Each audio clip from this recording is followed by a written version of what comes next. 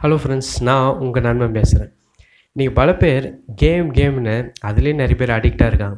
சில பேர் சொல்கிறேன்னா சும்மா நாங்கள் ரிலாக்ஸாக விளையாடுறோம்.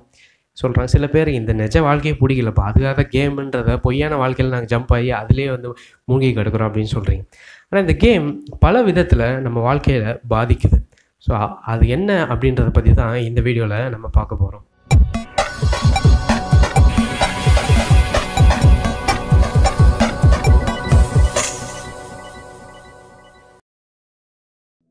இன்றைக்கி நிறைய பேர் கேம் அடிக்ட் ஆகிருக்க கேம் பார்த்தீங்கன்னா ஃப்ரீ ஃபயர் இன்னும் நிறைய கேம் இந்த மாதிரி நிறைய விஷயங்கள் இருக்குது சரி இந்த கேமில் என்ன தான் பிரச்சனை இருக்குது நம்ம எப்படி நம்ம வாழ்க்கையை பாதிக்குது அப்படின்னு கேட்டிங்கன்னா ரெண்டு விதமாக நம்ம வாழ்க்கையை பாதிக்குது. முதல் விஷயம் என்னென்னா இந்த கேமில் நம்ம ஏதாவது ஒரு விஷயத்தை இழந்துட்டோன்னா ஒரு உதாரணத்துக்கு கோல்டாக இருக்கட்டும் இல்லை கிறிஸ்டல் இதெல்லாம் வந்து கேமில் சொல்லுவாங்க. இந்த ஃப்ரீ ஃபயராக இருக்கட்டும் நிறைய கேமில் இதெல்லாம் வேஸ்ட் ஆயிடுச்சுன்னா இல்லைனா கூட திடீர்னு ஏதாவது லாஸ் ஆயிடுச்சுன்னா எல்லோரும் வந்து அழ ஆரம்பிச்சிடுறீங்க. என்ன அது இப்படி ஆயிடுச்சோ? ஐயோ அப்படின்னு சொல்லிட்டு வாழ்க்கையே முடிஞ்சு போன மாதிரியே ஒரு ஃபீலிங் கொடுக்குறீங்க. இதனாலேயே பல பேருக்கு ஸ்ட்ரெஸ் அதிகமாகுது. டிப்ரெஷனுக்குள்ளே போகிறாங்க இந்த கேமில் என்னால் சாதிக்க முடியலையே. இந்த கேமில் இப்படி ஆயிடுச்சே அப்படின்னு இழந்துட்டேனே அப்படின்னு சொல்லி ஸ்ட்ரெஸ்ஸுக்குள்ளே நிறைய பேர் போகிறாங்க இதனாலேயே பல பேருக்கு படிப்பில் ஃபோக்கஸ் பண்ண முடியல இல்லை நிறைய விஷயங்களை ஃபோக்கஸ் பண்ணவே முடியல. இன்னும் சொல்லப்போனால் எப் எப்படி எப்படிலாம் கேமில் சீக்கிரமாக லெவலில் ப்ரோக்ரஸ் பண்ணலாம். அதாவது ட டக்கு டக்குன்னு அடுத்த லெவல் போயிட்டே இருக்கணும். ஏன்னா நிறைய பேர் அந்த கேம் விளையாடுவாங்க.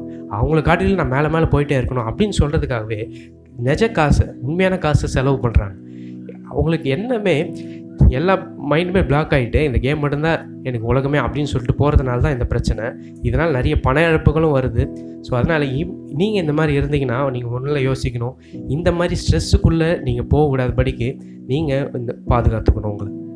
ரெண்டாவது பிரச்சனை என்னென்னா இந்த கேம் கேம் சொல்லி சொல்லியே நிஜ வாழ்க்கையை பற்றி அவங்களுக்கு விருப்பமே இல்லாமல் போயிடுச்சு நிஜ வாழ்க்கையில் என்ன நடக்குதோ நடந்துட்டு போட்டோம் எனக்கு கேமில் நடக்கிறது தான் முக்கியம் அப்படின்னு சொல்லிட்டு நிறைய பேர் பண்ண ஆரம்பிச்சிடுறீங்க. நிஜ வாழ்க்கையில் ஏதாவது சீரியஸான விஷயம் நடந்திருக்கும். அதுவே எப்படின்னா இவனுக்கு கேம் மாதிரி தெரியுது. கேமில் நடக்கிறதுலாம் சீரியஸான விஷயமா தெரியுது. அப்படியே ஆப்போசிட்டாக மாறிடுச்சு. ஸோ இது மாதிரி இருக்கவங்கனால தான் சீரியஸாக ஏதாவது ஒரு நிஜ வாழ்க்கையில் சொன்னாலுமே அதை பற்றி பெருசாக கண்டுக்க மாட்டாங்க அதுக்கு முக்கியத்துவம் கொடுக்க மாட்டாங்க. ஏன்னா அவங்களோட நிஜ வாழ்க்கை எப்படி ஆயிடுச்சுன்னா கேம் தான் அவங்களோட நிஜ வாழ்க்கையாக மாறிடுச்சு. நிஜ வாழ்க்கை அவங்க கேமாக மாறிடுச்சு. ஸோ இந்த மாதிரி நீங்கள் இருந்தீங்கன்னா நீங்கள் இப்போவே அந்த கேமை விட்டு நீங்கள் வெளியே வரணும். இல்லைன்னா நம்ம கடைசி வரைக்குமே நிஜ வாழ்க்கையை பற்றி கவலைப்படாமல் நம்ம வாழ்க்கையை அழிச்சிக்க நிறைய வாய்ப்புகள் இருக்குது இன்னும் சொல்லப்போனால் நிறைய உறவுகளை நீங்கள் இழந்து போயிடுவீங்க. இந்த கேம் கேம் அப்படின்றதுனால. ஸோ முதல்ல இந்த கேம்ன்றதே உன் நிஜம் இல்லைன்றதை நீங்கள் உணரணும். அப்படி உணர்ந்தாலே பல விஷயங்களுக்கு வந்து சரி இது கேம் தானே சும்மா போட்டு சும்மா ரிலாக்ஸ்க்காக விளையாடுவோன்ற அந்த மைண்ட் செட்டை கொண்டு வாங்க. ஏதாவது ஒரு ஜாபுக்கு போயிட்டு வந்தோ ஏதோ கடைசியாக ஈவினிங் ஒரு half an hour one hour விளையாடுறப்ப அவ்வளோதான் அப்படின்ற ஒரு மைண்ட் செட்டை கொண்டு வாங்க. அப்போ தான் இந்த ரெண்டு விஷயங்கள்லேருந்து நீங்கள் தப்பிக்க முடியும். எந்த வித டிப்ரெஷனுக்குள்ளேயும் நீங்கள் போக மாட்டீங்க.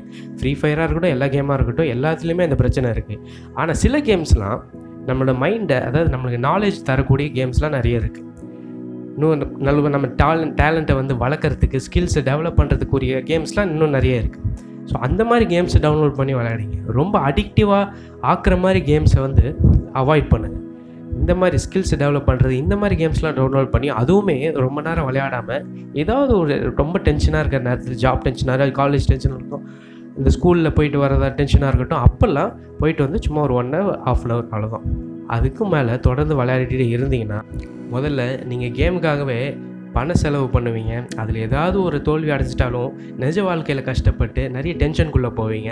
ரெண்டாவது நிஜ வாழ்க்கையத்தோட முக்கியத்துவத்தையே நீங்கள் அறியாமல் கேம் தான் நிஜ வாழ்க்கைன்னு சொல்லிட்டு அதுலேயே மூழ்கி கிடப்பீங்க. நிறைய உறவுகளை இழந்து போவீங்க.